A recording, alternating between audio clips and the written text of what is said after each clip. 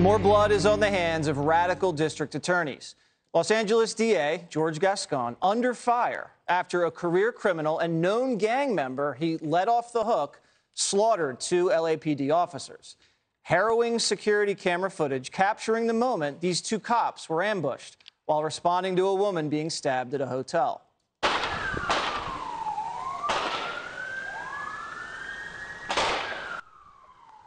The suspect who died after a shootout with police had a rap sheet about a mile long. His girlfriend accused him of assault just a day before the shooting. He served two stints in prison and last year was facing a third for possessing a firearm as a felon that could have put him behind bars for three years. But George Gascon let him slide easy on the last charge, giving him a 20 day jail sentence and put him on probation. Gascon defending the move, saying the slap on the wrist was, quote, consistent with case resolutions for this type of offense, given his criminal history and the nature of the offense. It's not consistent, Judge. This guy's like, he's beating his wife, he's, he's, No, he's got an illegal gun. It's consistent with his policy. Yeah, his. Which is it doesn't matter how violent you are. It doesn't matter what your record is. It doesn't matter if you're a threat to society. We're going to let you loose because we believe in racial justice. We don't give a damn about the victims. Our job is to make sure that the criminals get out. You know what? Recall is too good for this guy, Jesse. Mm. Recall is not enough.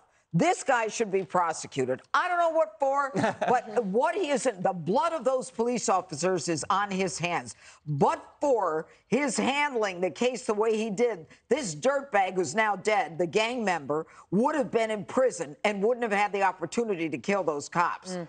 What we're seeing across this country and with this administration is a decision by the people in power of what crimes they want to prosecute and what crimes they won't prosecute. There is a real segregation here. And I'm not talking color, I'm talking about the right and the left. If they think that someone should be forgiven for everything he's done, irrespective of the of the violence that has, has occurred to another individual, they don't care about it. They don't care that violence begets violence. There is a ripple effect every time one human being injures another. It's like you toss a you toss a stone in a pond and it just goes ripple to ripple to ripple. It just gets bigger and bigger. That's what's happening in our society with these DAs who have no right being DAs. They should all be removed immediately.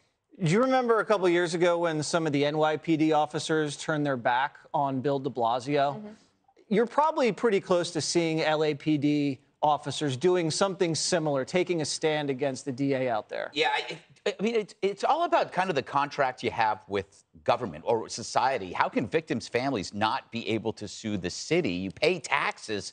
What's the taxes for? That's the relationship you make with the government. I mean, what if you don't uphold your deal? and you don't pay taxes. Mm. You're going to go to jail longer than 20 days. Yep. But what if they don't uphold their side of the deal? You can get shot. You can get killed. Not, provi- not providing safety and security. There needs to be some kind of consequences for Gascon because the people who make these decisions get away with it. No, he's not going to get shot by a gangbanger. He doesn't live in the neighborhood. And hell, that guy probably has his face, his name tattooed on his face, you know? So he'll never run into the violence that he unleashes. It would be nice maybe to force these DAs to live in the neighborhoods where they release these guys so they can play, play a role in Gascon's catch and release fantasies. This is no wonder, though, that the networks are running on January 6th because you have two vital interests right now crime and economy, the Dems are lost on both. That's why they're using January 6th right now. Instead, what they're trying to say is, sure, you're getting murdered. You're ba- you, there's no baby formula. The cops are getting killed, but democracy's in peril. and if they're not watching it on the networks, because not everybody watches network TV, they're definitely seeing this on the local news. Right. In Los Angeles and Philly and New York, they lead with crime all the time. Yeah, it is the A number one story. Like, you know, the, uh, the first 10 minutes of every local broadcast is crime. That's in, in, Denver included. My mom was just telling me that. I also wonder about where is AOC on the, there's a war on women. Yeah. This woman who is dating the guy, she gets ass- assaulted. She has the courage to call the cops on him, and they do nothing. And as you know, having started the first domestic violence unit for a DA, it's not easy for women to make those calls and to then to be ignored. And it, it, it, uh, to the ripple effect, If it wasn't going to be the cops, it was probably going to be her, and she knew it. And these women's groups do nothing to help to protect these guys. Oh, yeah. And the DAs, they ought to be paying attention to that because there's you. I would. It would be interesting to look and see how many of these guys that are let off come back to hurt their girlfriends or Oh, their yeah. wives, and it's it's over and over again, or they kill the children. Um, the other thing I wanted to point out is Bill Melugin, our reporter who is he's at the border now, but he's based in Los Angeles. He said that under Gascon's policies, he said when he came into office that the office of the government, the office of the the, his office would pay for the funeral expenses for anyone who was killed by a cop. And that could include this guy. And unless Gascon comes out and says it's not going to happen. We had a woman on today that's the she's leading the effort to get the signatures to put Gascon's recall to in place. They need about 100,000 more signatures. I can't imagine that they wouldn't be able to get them. So, what do you think about the conversation of consequences, not just recall? You know, people wanting more than that kind of accountability. Do you think there's any option for people that want more than just a recall here with this DA and people putting lives at stake? I'm glad, glad to be back around the table. Two, two things I'd say. One, to Dana's point, that, that group, first of all, I hope Gascon is recalled. Uh, you're elected to be a DA to prosecute and put people behind bars who commit violent acts, not to coddle them. Uh, I think voters in Los Angeles have a, a vested interest in this guy uh, in, in, in, in Los Angeles, so we won't, we won't go through it. But I, I hope that if this is what voters want, and we see this from the outside here in New York, I hope that's what voters get. To Dana's point, they say they have 650,000 signatures. They need five, 567,000. And I think they're aiming for even more because they think some may be invalidated as they go through this signature verification process. Um, uh, voters around the country, I don't view this as a racial issue at all. I think this is just a fundamental American issue. Um, you can't go to work, you can't go to church, you can't go to school, you don't feel confident dropping people off to do those things if you don't have a fundamental understanding and confidence that people are going to be secure.